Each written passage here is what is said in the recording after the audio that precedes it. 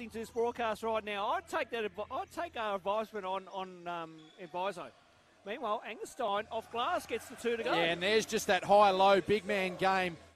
Stanwick's now Froling. A bit of two-man action happening here as we go back to Froling once again. Froling fighting that open late and the finger roll. Yes, I may. We may. Need, I may need my puffer jacket it shortly. Meanwhile, Froling Oh, goes up. Harry Beautiful Froling. move by Harry Froling. He gets the foul. He'll go to the line for one. Howard decided not on that one. Now Richards here off the handoff. Now Froling open for three. Yes. Bottom of the net, and he lets him know about it again as well. Now Froling low. One on one here with Daggett. So banging bodies down low. Froling with the fadeaway. Yes. Yeah, nice basket there. Harry Froling starting as he means to go on. Angerstein down low. And can't get the roll. Hargrave couldn't get the tip. Now the ball bowled out.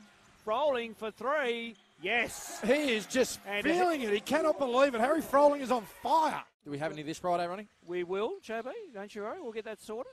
Harris now Froling puts it to the floor. Up against Cut. Ah, oh, Froling throws it down with a one hand jam. Harris now Froling. Froling putting on some moves. Fake. Oh, nice cut on the by reverse. Stanwicks. Yes.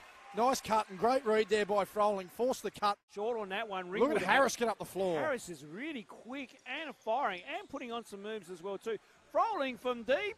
Yes. He is on fire. Harry Froling, 22. A 17 point game. Yes, no, good to see some of the uh, Ringwood fans in the house. It's great to see. Meanwhile, Froling goes up, wants a foul, and he can't get it to get. And Ringwood being their, the Ringwood bench being their six man right now as well too. Froling goes up and gets the two to go. Thought he might have gone the cheeky turnover dunk there, Ronnie, but